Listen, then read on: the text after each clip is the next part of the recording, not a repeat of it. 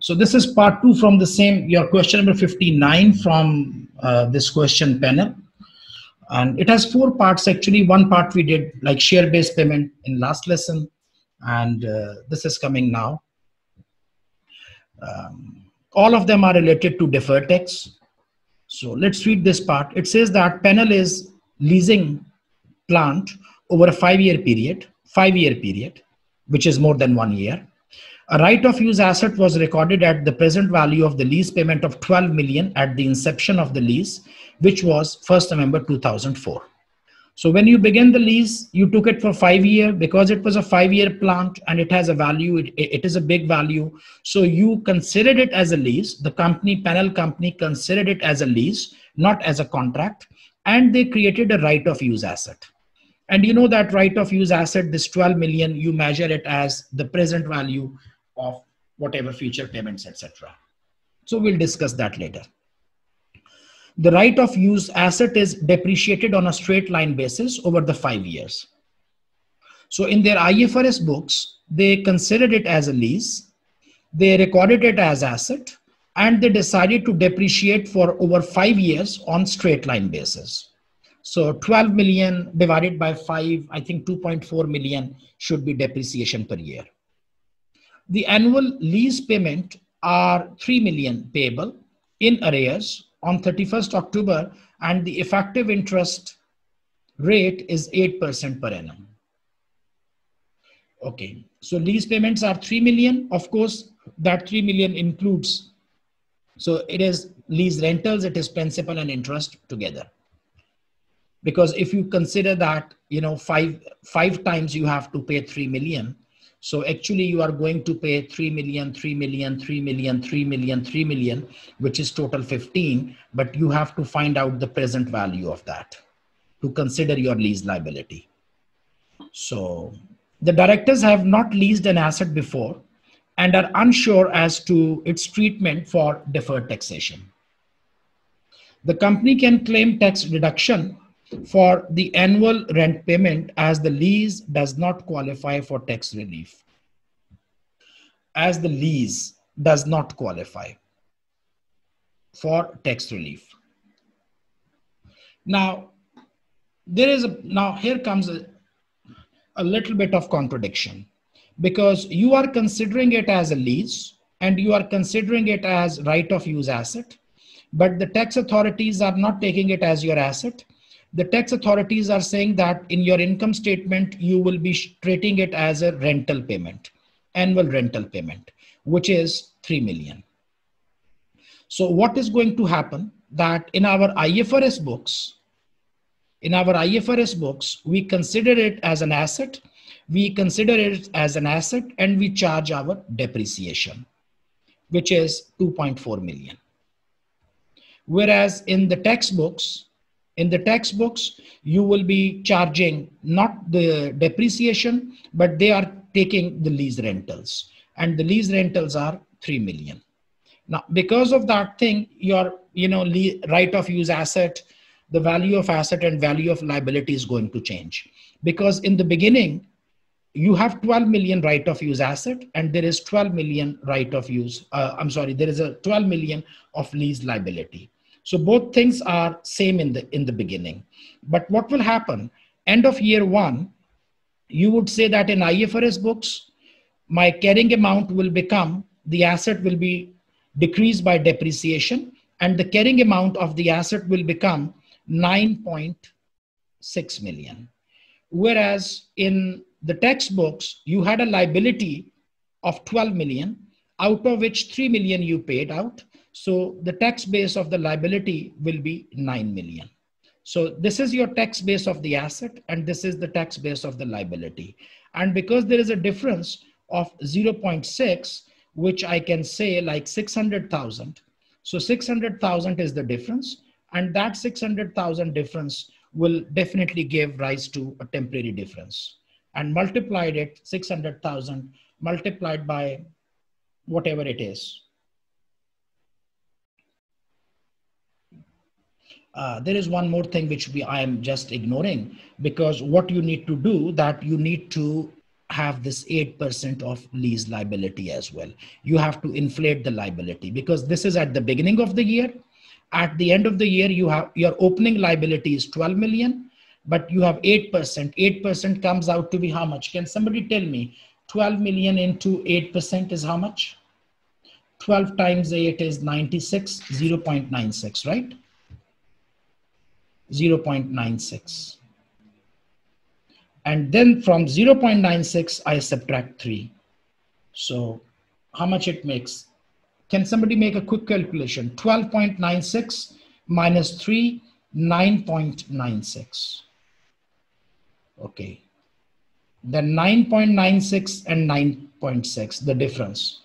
The difference comes out to be 0.36 which mean that 360,000 is the difference. And that 360,000 multiplied by your taxes 30% for this question and 360,000 into 30%. So 360,000 into 30%, 360,000 into 30%. So this should be 108, 108,000. Now, this is going to be the deferred tax. This is going to be the temporary difference. So 108,000, is it going to be a deferred tax asset or deferred tax liability? Can somebody tell me? 108,000 is the difference. Is it going to be deferred tax asset or deferred tax liability? You should always see what is the carrying base here. If the carrying base is less, in this case, the carrying base is less, it is going to be an asset. So this is going to be an asset. Elisa, can you explain if the carrying base is less, why is it an asset? Logically, can you explain us? Instead of remembering, we want to understand. Uh, the way I understand is that the carrying amount uh, of accounting base is less than tax base because we uh, decrease more from accounting perspective than from tax perspective. Okay. From accounting perspective, we decreased 2.4 million. From tax perspective, we decreased 2.040 million. So there is a difference of 360,000 between accounting deduction and the tax deduction. So the uh, 360,000 difference and this 30% will be deferred tax asset. So we have asset for the next year to decrease. Oh, Okay. I understand, but not very well. I want you to explain it again, logically, step by step. I said that, listen, this is always very important to understand. Let's say that we make a rule here. And by the way, I will do this question again. I will write down, I will type the full answer. I'm not answering the question, I'm just discussing the question now. So don't think that this is the solution. I will write down everything properly, how you should write it. Here I'm just discussing the question with you so that we never forget it. So we say that let's first decide the rule. We learned it before, but we do it again. We say that if the carrying value and carrying value means net book value, carrying value carrying value means your net book value. It means your IFRS books, okay? So if the carrying value is more than the tax base, what do you have? You have deferred tax liability. You have to remember this rule. First you remember and then we will learn. And opposite of that, we say that if the carrying value is less than the tax base, you have deferred tax asset. So I'm just writing it down so that we know what is the rule. So this is what you can remember. And in our case, because the carrying value, this is the IFRS carrying value, it is less, and therefore we have a deferred tax asset.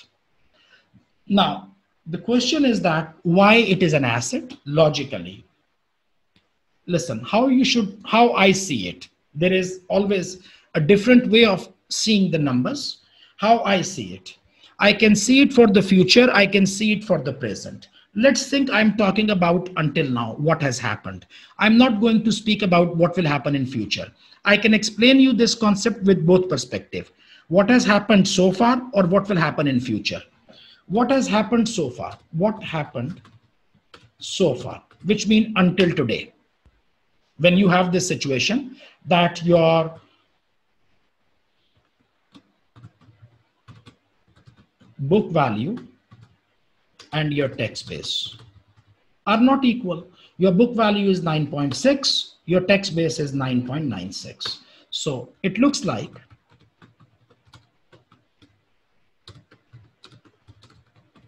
that the company charged more depreciation, right? That's why the book value is less. Why the book value is less? Because the company has charged more depreciation. More depreciation means less profit. Or I should say that it looks like that IFRS depreciation is more.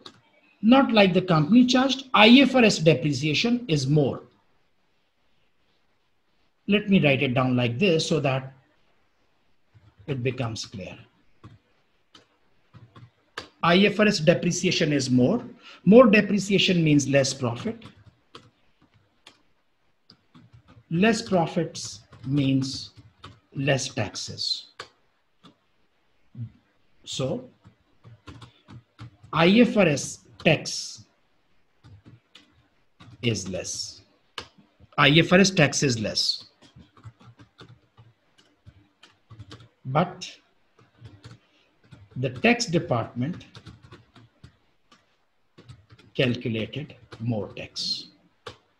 IFRS tax is less than, IFRS tax is less than the tax department calculation.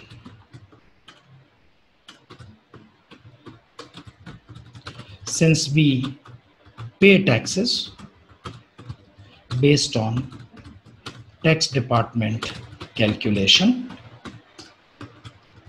therefore,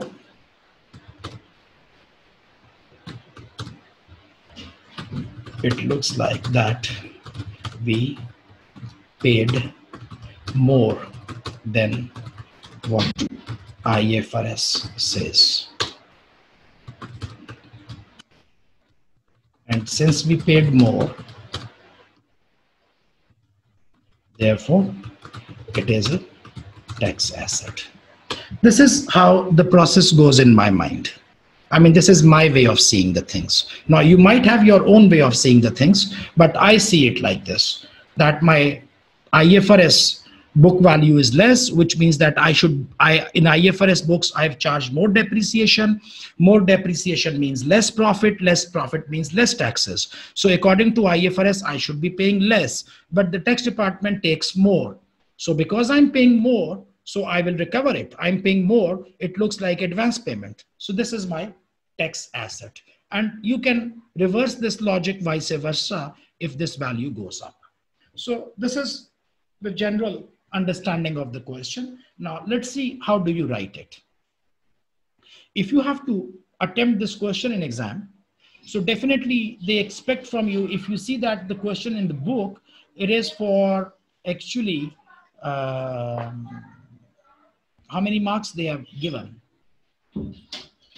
They have given four marks to this event, four marks and four marks they will never give you for a very short calculation. What they expect from you they expect from you that you know um, how these these numbers before i mean not only you should give the numbers but you should be always you should also be speaking about uh, the treatment. We say that uh,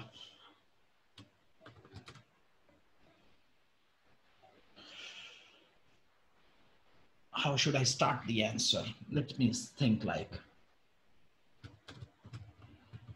The question is related to IFRS 16 leases. Under IFRS 16 leases, the entity should record this contract as a lease as it qualifies the criteria. Criteria under IFRS 16, the entity should record right of use asset, which is present value of uh, right of use asset.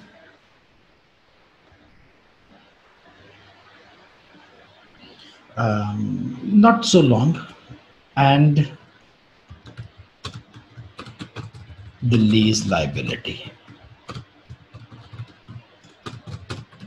which is present value of future payments initially both are same. Ha ha ha. The tax department does not allow to treat it as a leased asset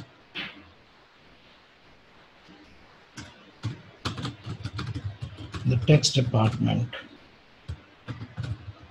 allows to treat it as a rental contract. The right of use asset will be reduced by the annual depreciation. So whatever is going in my mind, I'm just putting it. This is you should be doing an exam. Whatever calculation you have in your mind, you just put it down here. The lease liability should be inflated by the implicit interest rate and then decreased by the lease payments. End of year values of leased of right of use asset, right of use asset and lease liability should be compared. Any difference in the value give rise